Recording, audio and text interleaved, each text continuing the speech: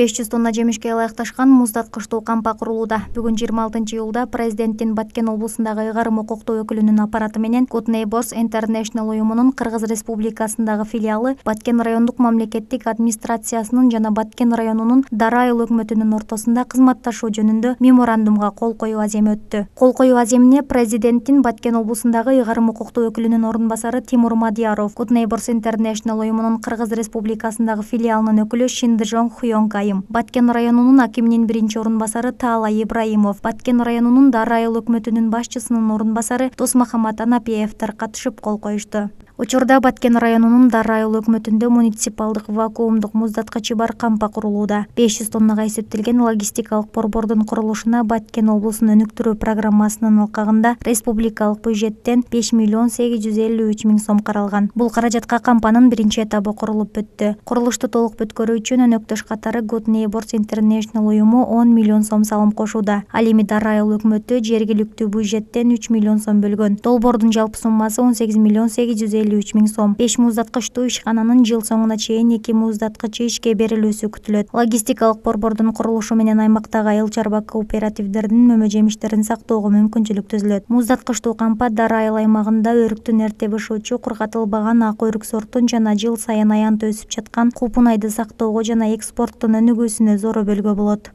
저희 그 굿네이버스가 меморандумга кол коюу аземи дары айыл өкмөтүндө мамлекет менен кыргыз республикасынын өкмөтү менен жана good neighborsдун ортосунда курулуп жаткан логистикалык борбордун негизине кол коюлду.